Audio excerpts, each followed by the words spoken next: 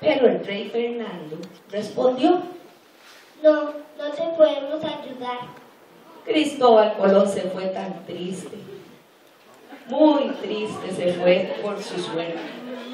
Resulta que entonces alguien le avisó a Cristóbal que la reina Isabel lo llamaba. Entonces se puso feliz y se vino donde la reina otra vez.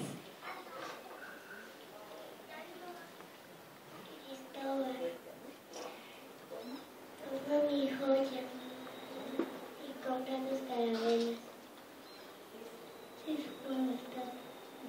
Y le dijo, sí, su majestad. Y así fue como él emprendió un viaje que es muy memorable. Así fue como Cristóbal Colón, gracias a la ayuda de la reina Isabel, logró hacer su sueño realidad. Y fue así entonces como al